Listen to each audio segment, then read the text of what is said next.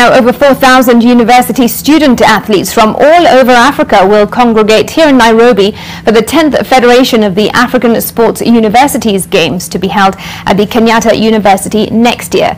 The multi-sports event, which was scheduled for 2020 and then, of course, postponed due to the COVID-19 pandemic, has now been confirmed for June 6th to the 10th. The All Africa University Games are organized once every two years as the flagship event with nine nine editions having been held thus far in different parts of the continent.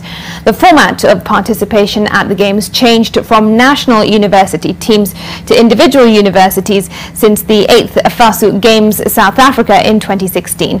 The Games will be used to qualify Africa's representative teams to the FASU University World Cup Soccer 2023 for both men and women to be held in China.